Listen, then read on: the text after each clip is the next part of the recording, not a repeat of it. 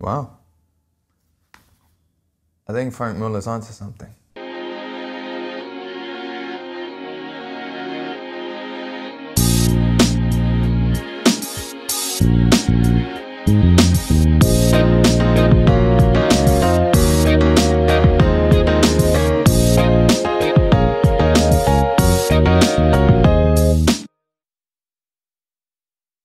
Hi everyone and welcome to Shah Lusso and yes today we are talking about a brand new Franck Muller. We don't normally talk about these on the channel and you don't see too much information about the brand anymore on the internet. But in December of 2020 they came out with a new watch called the Franck Muller Vanguard Line Cut and cautiously I'm saying I think Franck Muller may be onto something. I think they may actually be making a proper comeback.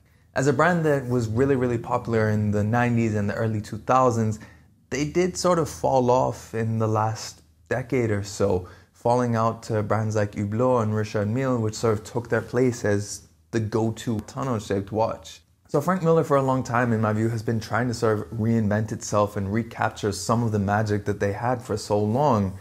And while, yes, they are still the ones who should be credited for popularizing the tonneau shape, bringing it back from the early days of watchmaking in the 1900s, let's face it, when people think tonneau shaped watches, they think Richard Mille. Hublot even tried to get in on the action with the spirit of Big Bang. But at the end of the day, Franck Muller can't really let go of it, so instead, what they've done is they've come back strong and they've shed a lot of the weight that a lot of their watches have had.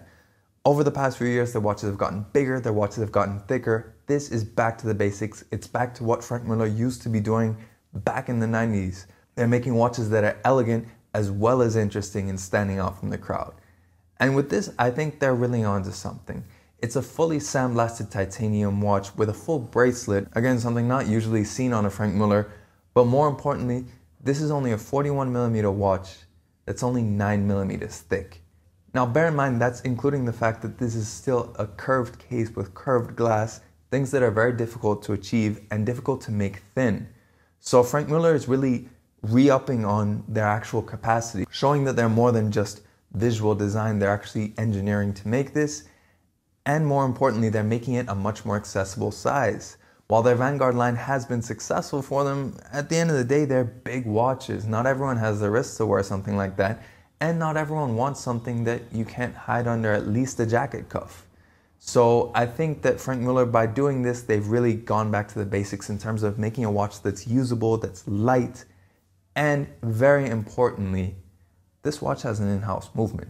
They don't really put too many specifics on it, but if you look around for a couple of articles, you can get the dimensions of it, and that does tell you that it's not an ETA 2892, which is what you might suspect, and it's not a Sellita either because if you look at the dimensions of the movement, the FM708 is 28.9 millimeters in diameter by 3.8 millimeters thick versus the ETA 2892 and its Sellita SW300 equivalent, measuring 25.6 millimeters by 3.6 millimeters thick. So this movement is bigger than both of those, and I think that's a crucial indicator that it is a different movement and hopefully a proper in-house movement.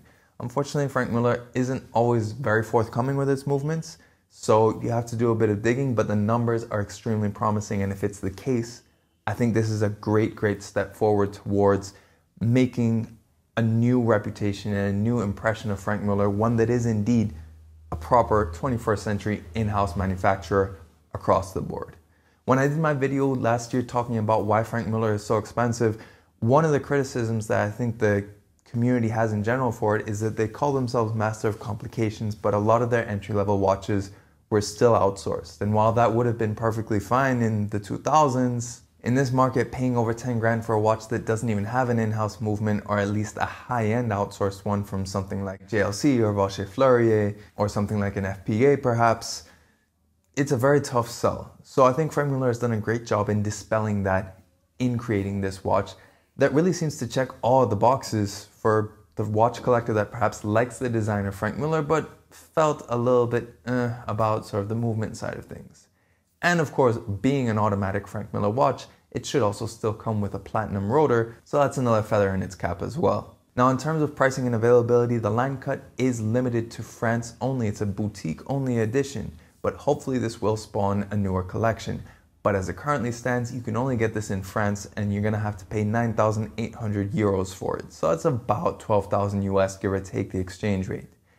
And what does this really compete with? Well, in my view, the closest competitor it has is something like the Hublot Classic Fusion with a full titanium bracelet. While they don't look the same visually, I do believe they serve the same sort of purposes, serve a sporty but still elegant watch and Hublot and Franck Muller are generally cross-shopped more than other brands. So measuring it up against the Hublot, well the Hublot is an $8,300 watch, so it's a fair bit cheaper, but it also uses a Sellita SW300. It's also by and large much easier to find a Hublot Classic Fusion than you would a Vanguard, especially considering that this is a France only edition.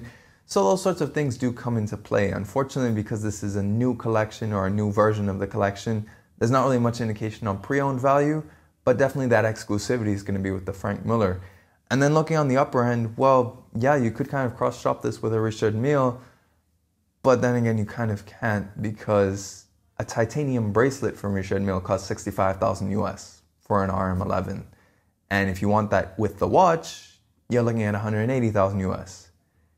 And that's before we start talking about the fact that it's pretty difficult to get most Richard Milles at retail.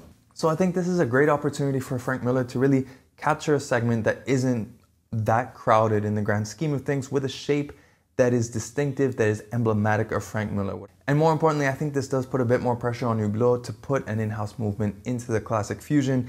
I'd be interested to see if they do that in the near future, just considering the age of the collection and they've just celebrated their 40th year anniversary with the Sellita version, so I think there must be an in-house version, at least on the horizon. But in any case, I'd love to know what your opinions are on the Franck Muller Vanguard line cut. Do you think Franck Muller has a chance of coming back? Do you think that this is the watch that can help them do it? Or do you think they should just go back to what they were doing already with the Vanguards? I'd love to know your thoughts and opinions in the comments below. And of course, if you like this video, make sure you like it and share it. If you want to see more pictures of this, as well as all the infographics I use throughout my videos, then make sure you follow me on Instagram at Shah Lusso. And if you want to keep seeing more watch videos, make sure you subscribe to the channel and hit that notification bell as well so you know when the next video comes out. In any case, thanks for watching this video, and we'll catch you on the next one.